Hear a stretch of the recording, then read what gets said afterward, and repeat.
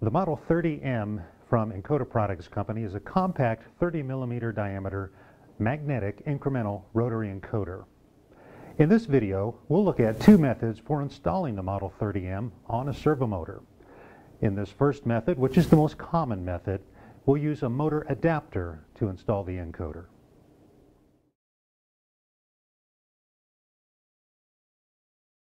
First, fasten the adapter to the motor surface with the two supplied screws.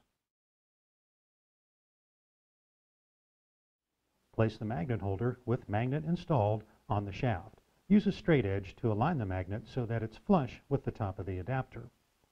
Tighten the set screw on the magnet holder and secure the Model 30M into place. EPC's adapter is designed to supply the correct sensor to magnet air gap. And now in this segment, we'll take a look at how to install the Model 30M using the centering and gapping tool.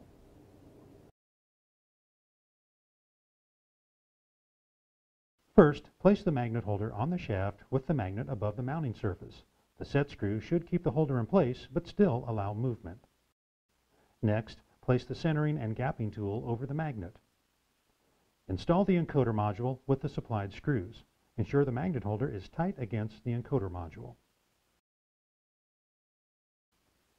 Remove the encoder module. Carefully remove the gapping tool. It will likely be attached to the module. Tighten the set screw and reinstall the encoder module. So those are two methods for installing the Model 30M encoder. For more how-to videos and for complete product information, visit www.encoder.com.